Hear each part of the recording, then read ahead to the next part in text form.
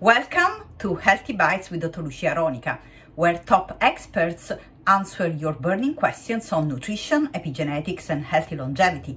In this episode, Dr. Jed Fahey uncovers the optimal dose of broccoli sprouts to unlock their health benefits. Subscribe now and let's nibble our way to a healthier, happier life. Two, two to four ounces um, a day um, is reasonable, I think. You're probably familiar with the sort of clamshell, transparent uh, plastic boxes that m- most sprouts are sold in the in the supermarket in, and usually those are three or four ounce clamshells, they call them. So half of one of those boxes is a very reasonable amount that will give you a dose that correlates nicely with um, know, with doses that we've seen when we measure, quantify um, uh, sulforaphane or glucoraphanin in, in, in pills, essentially, because a lot of the studies are done that way because you want to know exactly what you gave someone.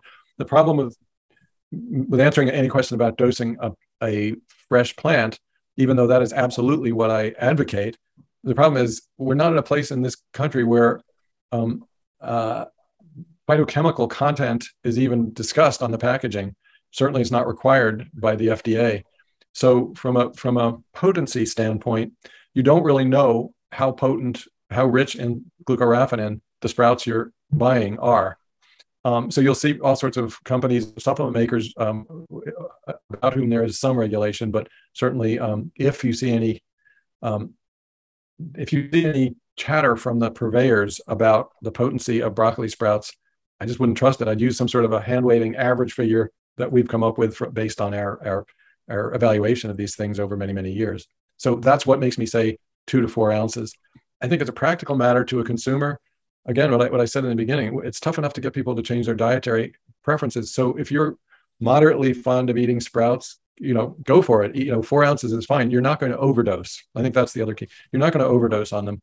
What will typically happen when people eat too much broccoli or broccoli sprouts is they get grossed out because they're eating too much. You know, they stop. You know, they feel bloated um, or they're just tired of the taste. So, you know, you wouldn't eat a huge dinner plate full of just broccoli or just broccoli sprouts. And I think that's the way to approach it.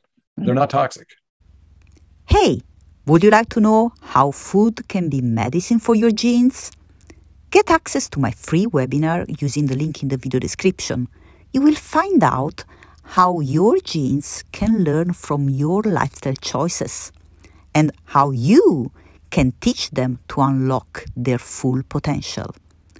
I hope you enjoy the webinar, and if you do, please make sure to comment and share.